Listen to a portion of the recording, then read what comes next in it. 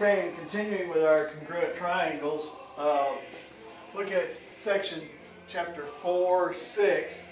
And that section is on isosceles triangles, okay? Got a little background music, hope it's not too loud. Uh, it's the middle of December here in the Decatur, and obviously we're in the middle of celebrating holidays and Christmas, and so a little background mood music. Turn it down just a little bit. Uh, my wish for you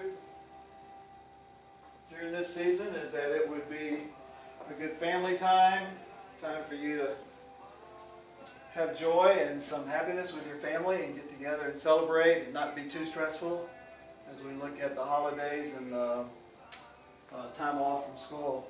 But let's get back to this so we can pass this test next week. Isosceles triangles. One of the ways I know, sounds sort of crazy, to remember how to spell the word isosceles is S-O-S. I-S-O-S. And um, before I really understood isosceles triangles, I memorized everything. I needed an SOS. Okay, I needed to save my ship. Save our ship. And so that's how I remember how to spell it is I-S-O-S. C-E-L-E-S. So I don't know if that'll help you or not. Anyway, isosceles triangles are unique triangles. There's an awful lot to be said about them. They're used in construction tremendously. They're used in, um, in for good reason. There's a lot of characteristics of isosceles triangles that we're going to examine, uh, be using the rest of the year uh, to get into, uh, show you how to use them. And once you understand those characteristics and those uh, unique uh, features of isosceles triangles, hopefully it'll make some of the things we do the rest of the year a whole lot easier. Isosceles triangle is basically a triangle that has at least two sides congruent. At least two sides. It means it can have three sides congruent. We're going to look at the situation where at least two sides are congruent. If the third side is congruent, well, pick two of them to be the legs and pick the other one to be the base. We have triangle ABC. Now, vertex A, or A, point A, or corner A, is what we call the vertex. Okay? And angle A is the vertex angle. Okay? It connects the two legs, and the two legs are congruent. In this particular case, leg AC, or segment AC is a leg, and segment AB is a leg. Now notice something about the legs. What's the same about the legs? That's right. The legs both have point A in them. Why? Because, well, that's the joint. That's the hinge where the legs meet. Okay, the legs meet at the vertex, so they're both going to have A in them. Okay, it's one thing about the legs. Somebody says A is a vertex angle or X is a vertex angle. You know that both legs are going to have X in them. If A is a vertex angle, then both of them, both the legs are going to have A in it.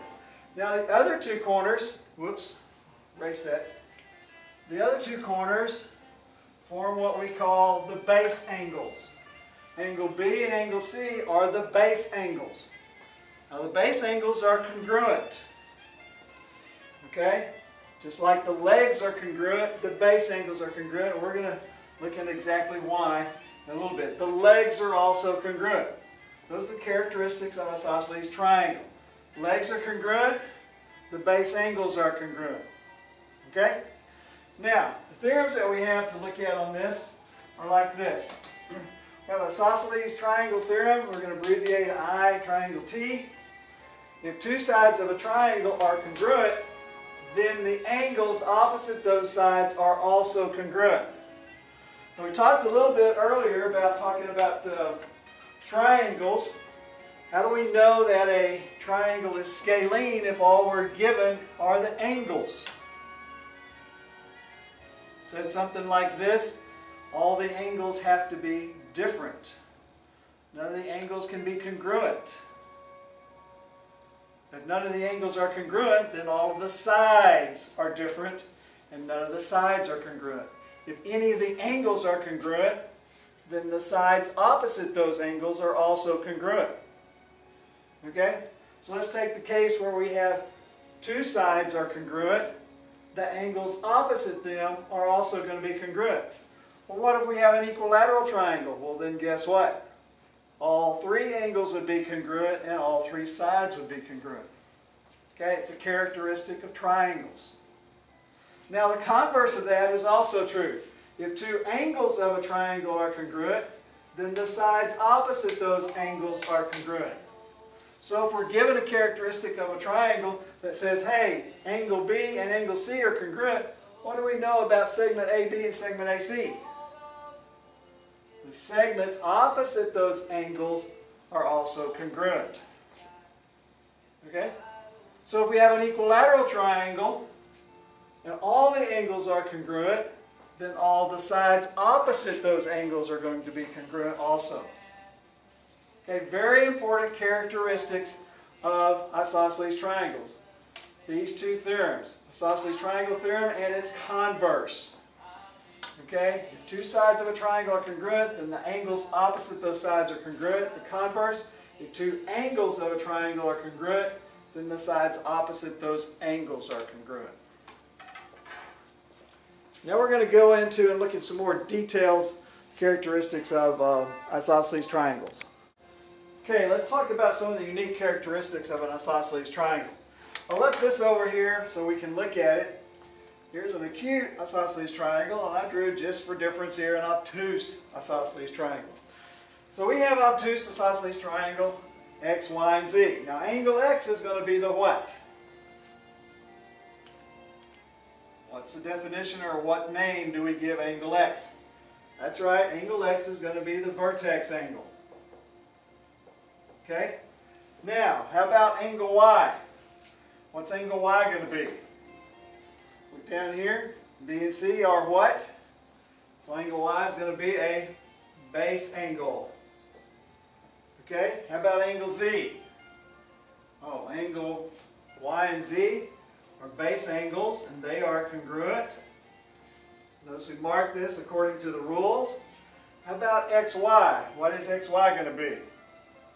xy is, well, it contains the vertex, the vertex angle. Okay, so that has to be a leg. And how about xz? Well, that has to be a leg. And what is yz? That's going to be the base. Okay, so we've defined everything.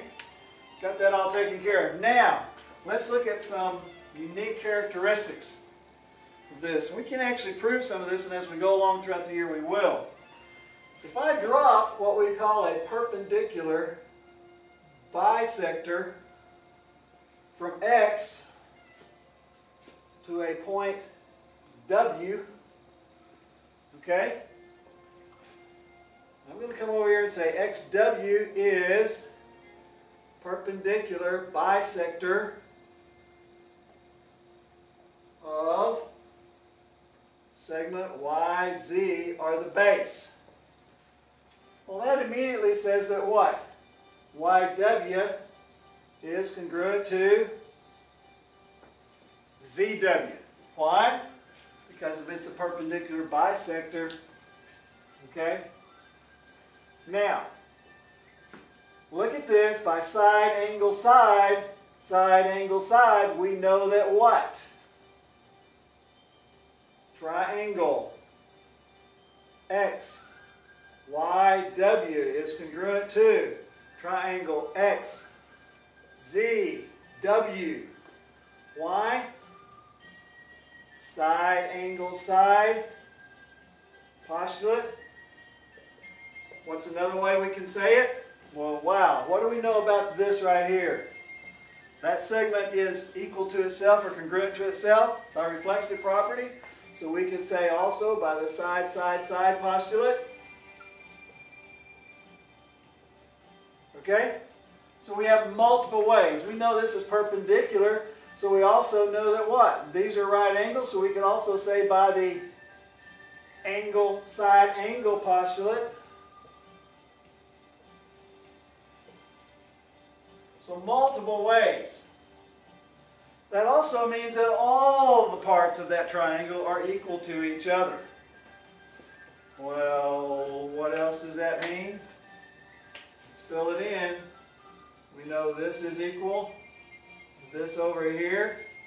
What does that mean about this one?